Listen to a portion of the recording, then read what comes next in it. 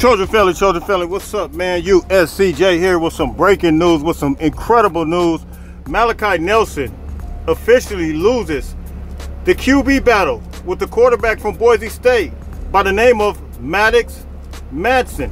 Listen, he was beaten, man. Look, you guys know anybody who questions Lincoln Riley and what he does in reference to the quarterback position absolutely doesn't know what they're talking about. When Lincoln Riley said that um, he wasn't ready and basically he wished he would have stuck it out, uh, you, you, know, Lincoln Riley is the quarterback guru. He knows quarterbacks when he sees them. He knows how to identify that talent. And for multiple people to question what Lincoln Riley said in reference to Malachi Nelson, it was no disrespect to him.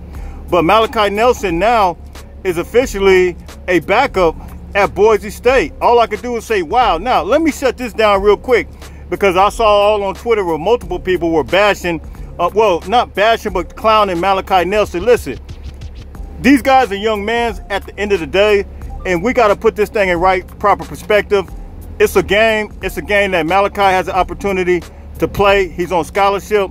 Um, it's a it's a it's a game where you learn.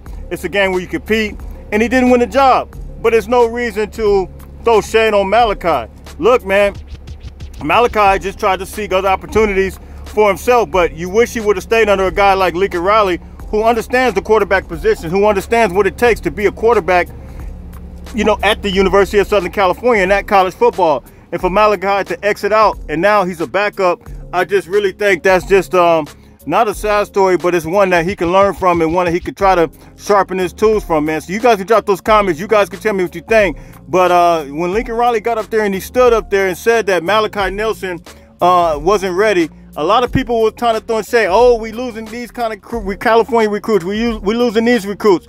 Look, man, it is what it is. Lincoln Riley, we can kind of trust him, especially when it comes to the quarterback position, man. So look, drop those comments. You guys tell me what you think. Malachi Nelson is officially now the backup to Maddux Madsen. Hit me in the comments. Let me know what you think. Fight on, fight on, fight